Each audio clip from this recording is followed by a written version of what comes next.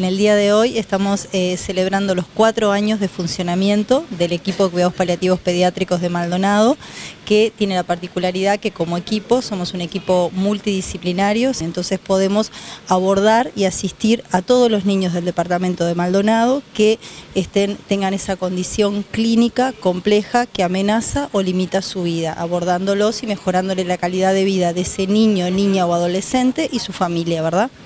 Primero hicimos una eh, parte académica, que fue la presentación de tres casos clínicos de abordaje de cuidados paliativos perinatales y nos acompañó la doctora Rita Rufo, ahí presentando tres casos clínicos que los asistimos por el equipo de las tres instituciones, ACE, eh, Mautone y Cantegril. Eh, ella nos aportó y nos ilustró este nuevo escenario o grupo 5, que es el, el también cómo podemos estar desde esa madre que le dicen, bueno, un diagnóstico que la situación no viene de la mejor manera o al momento del fin de su gestación eh, muere su hijo dentro de la panza, que sería lo que nosotros llamamos eh, el óbito, ¿verdad? Entonces la importancia de un abordaje por un equipo interdisciplinario, entonces digo, eh, se abordó esa parte, primera parte académica. Ahora en esta segunda instancia vamos a mostrar nuestro trabajo realizado a cuatro años de funcionamiento y para eso invitamos a la doctora Mercedes Bernadá. Ella ahí también nos va a abordar y a mostrar a las, a las autoridades que están invitadas, de las cuales, de las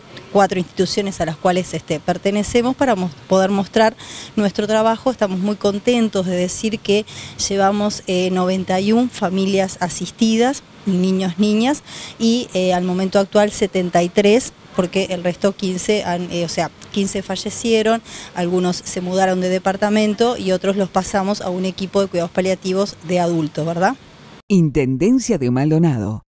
Construyendo futuro.